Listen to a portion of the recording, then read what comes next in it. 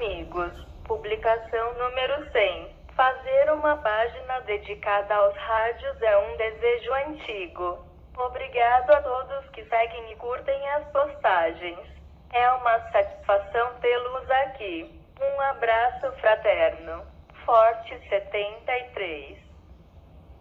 Ciao amici, pubblicazione numero 100. Fare una pagina dedicata alle radio è un vecchio desiderio. A tutti quelli che seguono e apprezzano i post. È un piacere averti qui. Un abbraccio fraterno. Forte 73.